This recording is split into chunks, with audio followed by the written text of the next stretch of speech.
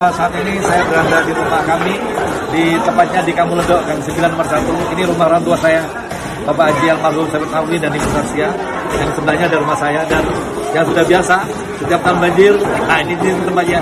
Dan setiap tahun kami bersama keluarga besar uh, selalu menyisikan rezekinya, rasa bersyukur pada Allah SWT untuk berkorban di hari raya Idul Adha saat ini tahun 2022 10 Juli dan kami ada beberapa ekor sapi dan beberapa ekor kambing yang sudah mau dikurbankan.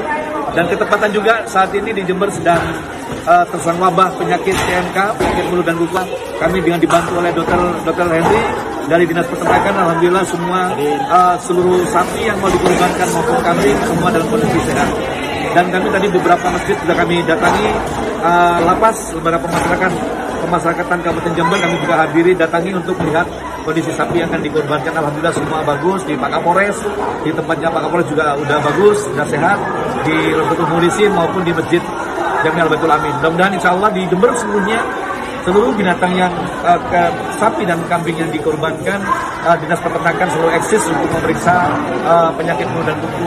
Dan mereka begitu sehat uh, siap untuk dikorbankan. Insya Allah mudah-mudahan bersamaan dengan Idul Adha ini penyakit PMK segera diangkat oleh Allah SWT dan seluruh ternak kita semua sehat dan para peternak para peternak sapi, kambing dan uh, binatang lainnya semuanya makmur dan sejahtera. Assalamualaikum warahmatullahi wabarakatuh.